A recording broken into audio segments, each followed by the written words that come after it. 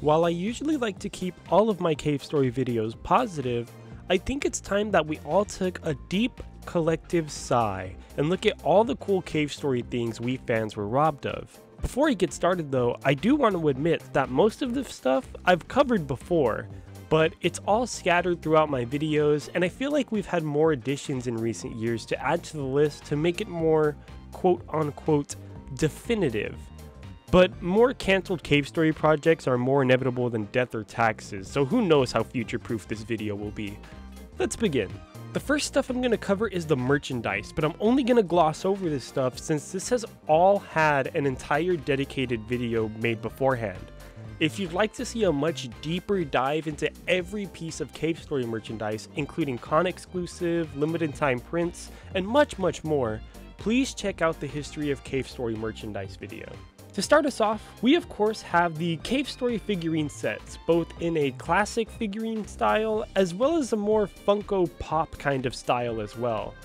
Neither of these figurines made any kind of official release, with the official reasoning for the classic figurine style being that the figures were not cute enough. It really is some pretty strange reasoning since it feels like these figurines were meant to be more cool rather than cute, but it doesn't change the outcome nonetheless, they were never released. I'd also like to point out a mistake I made in my original merchandise video on this Balrog figurine. In my video, I claimed that this Balrog figurine was a remodeled version of the classic figurine, but as it turns out, this wasn't a figurine at all. This was actually going to be a stress relief plush to squeeze on, which makes the pain on Balrog's face that much more funnier. I wish that I was able to buy one to keep on my desk just as a novelty, but I guess that goes for everything else on this list. The next one we don't even have a picture of. Confirmed by the founder of Nicalis himself, there was going to be a plush of King's Blade, and I am so sad that we never got it. Do you know how many nightmares and sleepless toss and turns King's Spirit could have protected me from? I swear, if I had that plush, I could have been way different now. I probably could have had a consistent upload schedule. Alright, with the cancelled merch out of the way, let's get into the real stuff. Heads up, this next section I've always wanted to make an entire video on but never did, so here's your Blade Strangers beta mini segment. For starters, we were robbed of a much wider cave story cast in the final build. As it turns out, not only was the Doctor going to be a playable character, but so was Balrog. We of course have actual gameplay of the Doctor being playable on a stage that's based on the King's Table segment during the final boss gauntlet. It sure is a shame because this footage is awesome. I have on multiple occasions just loaded this video on my phone and watched it over and over for minutes on end. I truly think the Doctor looks amazing in Blade Strangers.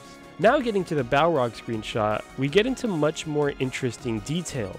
First of all, the fight is taking place on a scrapped egg corridor map that looks very basic, yet I still really dig it. We also have much more simpler versions of Quote and Curly in the game.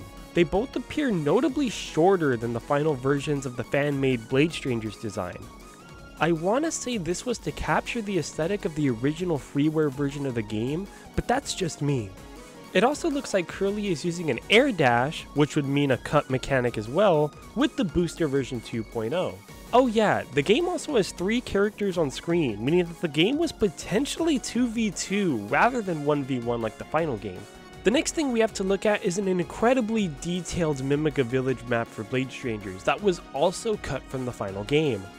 Honestly, all this cut cave story specific content makes me believe that Blade Strangers started off as a cave story fighting game rather than the indie crossover it ended up being, and we're not done yet either. We also have this screenshot of what appears to be some sort of platforming adventure mode with Curly attempting to fight some generic enemies. Of course, these aren't your everyday generic enemies, these are actually poo. For those who don't know, poo are small enemies that were cut from the Cave Story beta that were meant to be much more common, but were later changed into Balrog. It's wild to think that Blade Strangers was gonna be the game to bring some Cave Story beta elements into an official, not lore, non-canon crossover. The next project we have is actually what inspired me to make this video in the first place. That's right, I'm finally gonna be talking about the infamous Caspixel remake.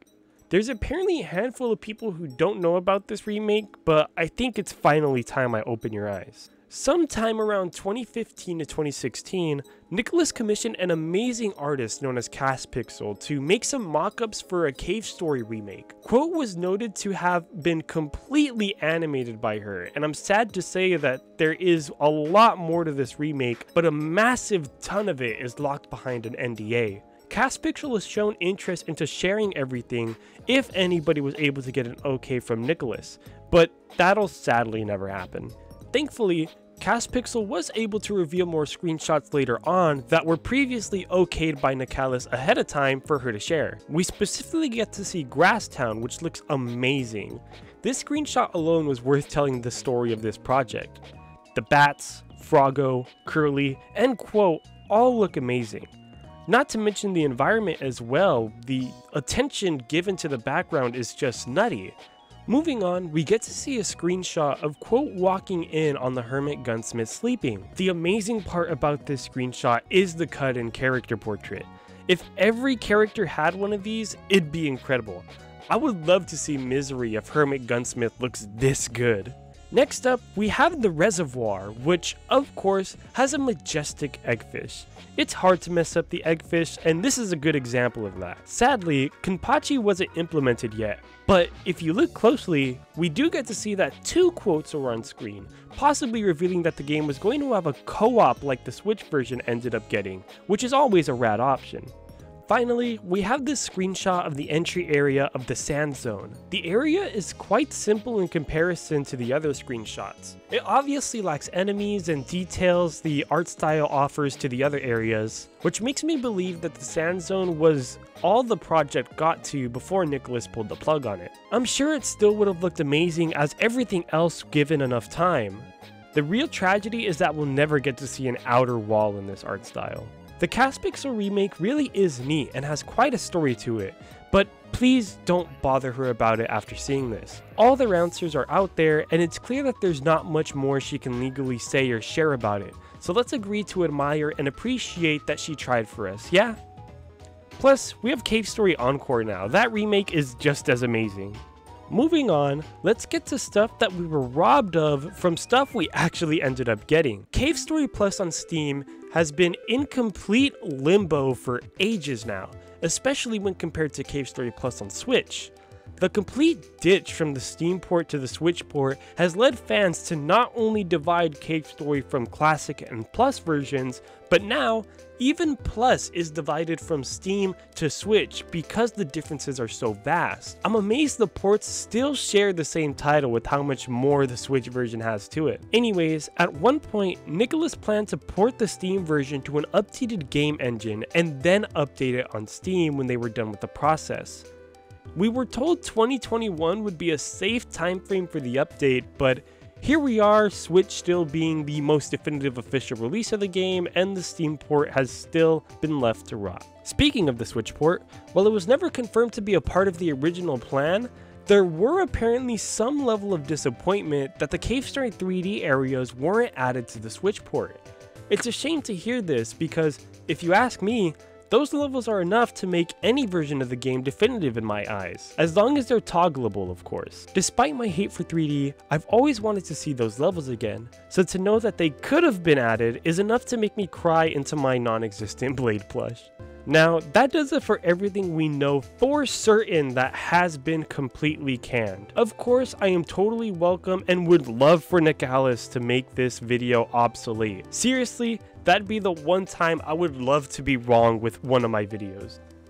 Finally, before I leave, I'd like to place some personal bets. On Twitter, in a response to Alula, Nicalis claimed that they were apparently working on porting Cave Story to PS4 and 5 by 2022 as their time frame.